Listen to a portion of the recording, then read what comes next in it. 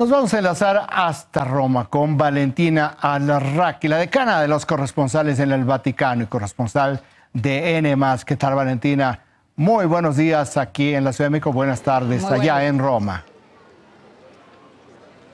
Muy buenos días, Raimundo.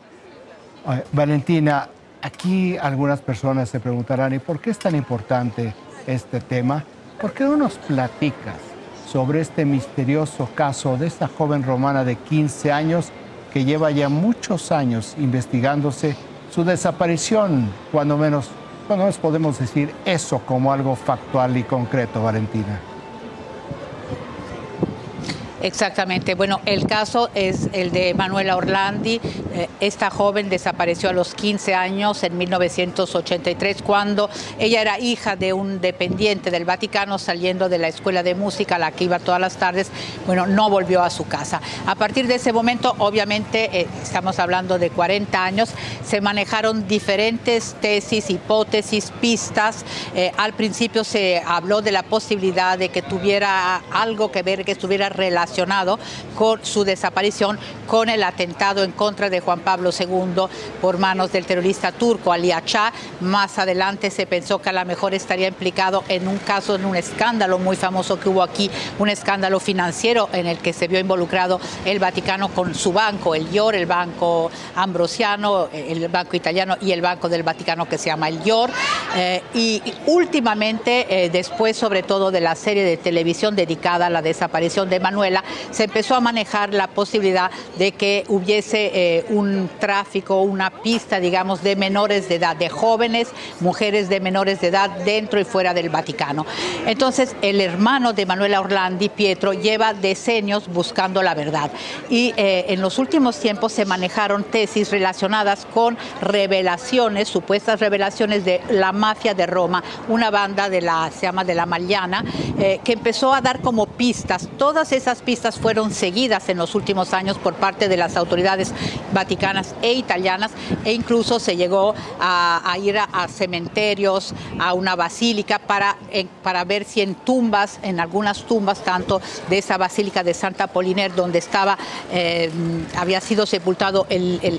jefe de esta banda de la mañana, de esta eh, mafia romana, si se encontraba ahí el cuerpo de Manuela, porque relacionaron esta banda como la, la mano su, digamos, las manos sucias que habrían eh, llevado a cabo pues el secuestro de esta muchacha y luego eventualmente su desaparición o su muerte. Pero ninguna de esas pistas ha llevado a nada, eh, pero después de la salida de la, de la nueva, de la serie dedicada a Emanuela, tanto el Estado italiano como el Vaticano decidieron reabrir las investigaciones, reabrir el caso. Y el Papa Francisco en primera persona dijo que quería absolutamente llegar al fondo de esta historia y que no se iba a hacer ningún tipo de descuento y se iba a tratar de remontar hace 40 años las personas que todavía quedan, que son pocas, para que pudieran ser interrogadas. Y el promotor de justicia había empezado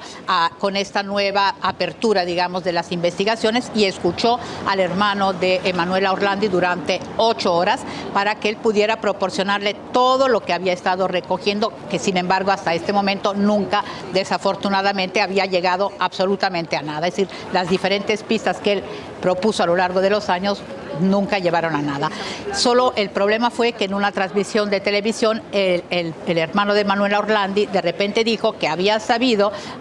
de un hombre perteneciente a esta mafia romana que, eh, según él, según este hombre, eh, Juan Pablo II salía por las noches del Vaticano con dos monseñores polacos buscando jóvenes menores de edad y que luego estas jóvenes acababan en el Vaticano y que ante toda esta situación de repente decidieron hacer desaparecer a las jóvenes. Entre, se da a entender, se encontraba también Emanuela Orlandi. Obviamente estamos hablando de acusaciones absolutamente absurdas, fuera de fundamento y obviamente todos los medios del Vaticano y bueno, la gente, los, los colegas, eh, todo el mundo evidenció que se estaba hablando, no había ninguna prueba, no se sabía ni siquiera quién había dicho, eh, había hecho estas insinuaciones y entonces pues con el pasar de las horas, después de esta intervención en, televisión de Pietro Orlandi, eh, pues los medios del Vaticano empezaron a reaccionar de una forma muy dura, muy tajante, diciendo que obviamente no se podía permitir de ninguna manera insinuaciones que no tuvieran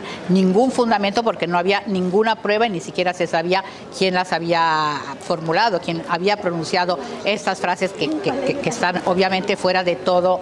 de toda lógica, vamos a decir así. Hasta que el mismo Papa Francisco, como recordabas, pues a rezar en Regina Cheli el domingo, en ocasión de la fiesta de la Divina Misericordia, que es una fiesta instituida por Juan Pablo II en 2000, quiso él mismo salir al frente de todos estos rumores, de estas insinuaciones absurdas y ofensivas, para decir que obviamente todo esto era absolutamente falso, que no había ningún fundamento y que él sentía compartir pues el sentimiento de indignación de los fieles de todo el mundo ante esas acusaciones.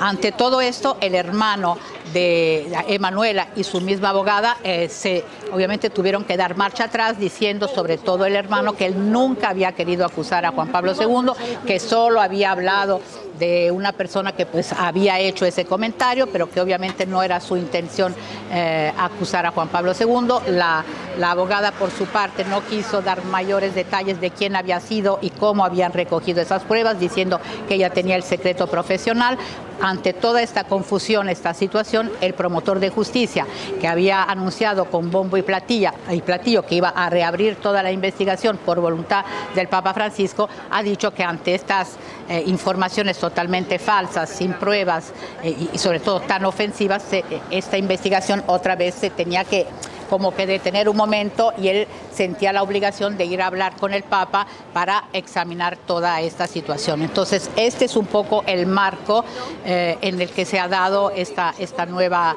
este nuevo episodio, vamos a decirle así, es del caso de Manuela Orlandi, que efectivamente es uno de los grandes misterios de Italia y del Vaticano, porque ella desapareció en Italia. Entonces, vivía en el Vaticano, pero desapareció fuera, cerca de la Plaza Navona. Estaba su instituto de música, entonces una doble investigación, tanto de parte italiana como de parte vaticana. Pero desafortunadamente, pues todos estos años, muchísimas pistas no han llevado absolutamente a esclarecer los hechos. Valentina, muchísimas gracias por este resumen tan puntual de este gran misterio y este gran escándalo que sigue presidiendo al Papa Juan Pablo II. Muy buenas tardes allá en Roma. Muy buenas tardes.